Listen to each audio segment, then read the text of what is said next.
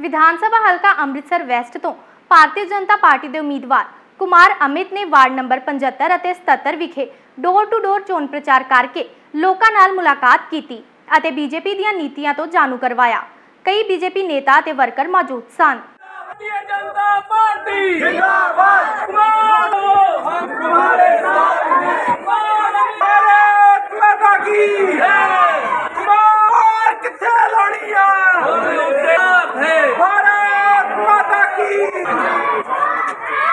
ಮಾಡ್ತೀವಿ